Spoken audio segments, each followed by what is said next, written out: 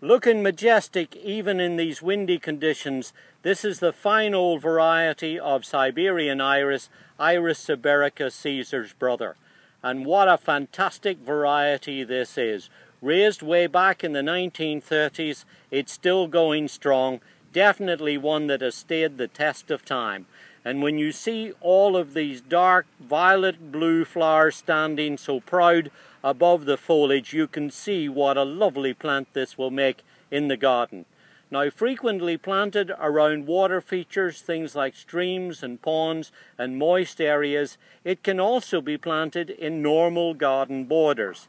If you do that, it will put on a great show and surprisingly last a long time without division. Some of the other more panickety varieties have to be dug up and split, but not this one. It will keep going strong for years. And if you plant it out, make sure to dig in lots of organic matter because it really does appreciate a nice, cool, moist root run. And if it turns hot and dry, it will cope with that, but again, try to keep the water going to it. Really strong, nice vigorous variety with these gorgeous blue flowers. This is Iris siberica, Caesar's brother.